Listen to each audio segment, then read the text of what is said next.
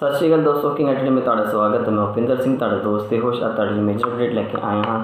ਇਹ ਅਪਡੇਟ ਦਿੱਤੀ ਗਈ ਹੈ ਅਲਟ ਬਾਲਾ ਜੀ ਵੱਲੋਂ। ਜੀ ਹਾਂ ਦੋਸਤੋ ਅਲਟ ਬਾਲਾ ਜੀ ਯਾਨੀ ਕਿ ਜੋ ਏਕਤਾ ਕਪੂਰ ਜੀ ਦੇ ਪਲੇਟਫਾਰਮ ਹੈ ਸੋਸ਼ਲ ਪਲੇਟਫਾਰਮ ਹੈ। ਸੋ ਦੋਸਤੋ, ਇਹਦੇ ਵਿੱਚ ਇੱਕ ਨਵੀਂ ਵੈਬ ਸੀਰੀਜ਼ ਦੀ ਅਨਾਉਂਸਮੈਂਟ ਹੋ ਗਈ ਹੈ। ਜੀ ਹਾਂ ਦੋਸਤੋ ਵੈਬ ਸੀਰੀਜ਼ ਦਾ ਨਾਮ ਹੈ ਬੇਵਾਕੇ, ਜਿਹਦੇ ਵਿੱਚ ਮੁੱਖ ਤੌਰ ਤੇ ਸਾਨੂੰ ਨਜ਼ਰ ਆਉਣਗੇ ਕੁਸ਼ਲ ਟੰਡਨ, ਸ਼ਿਵ ਜੋਤੀ ਅਤੇ ਕਰਨ ਜੋਟਵਾਨੀ ਜੀ।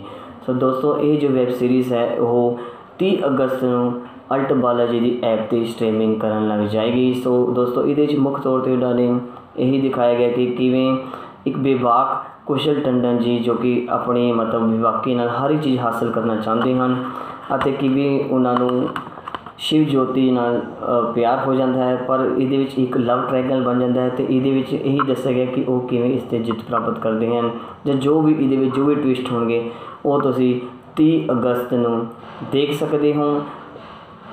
ਇਹ ਜੋ ਵੈਬ ਸੀਰੀਜ਼ ਹੈ, ਦੇਖਣ ਲਈ ਤੁਹਾਨੂੰ ਅਲਟ ਬਾਲਾਜੀ ਦੀ ਐਪ ਡਾਊਨਲੋਡ ਕਰਨੀ ਪਏਗੀ ਅਤੇ ਉਹਦਾ ਸਬਸਕ੍ਰਿਪਸ਼ਨ ਜੋ 3 ਮਹੀਨੇ ਦਾ ਆਈ ਥਿੰਕ 100 ਰੁਪਏ ਹੈ, ਉਹ ਤੁਹਾਨੂੰ ਇਹਦੇ ਵਿੱਚ ਦੇਣਾ ਪਊਗਾ। ਉਸ ਤੋਂ ਬਾਅਦ ਹੀ ਤੁਸੀਂ ਇਹ ਜੋ ਵੈਬ ਸੀਰੀਜ਼ ਹੈ, ਤੁਸੀਂ ਦੇਖ ਸਕਦੇ ਹੋ।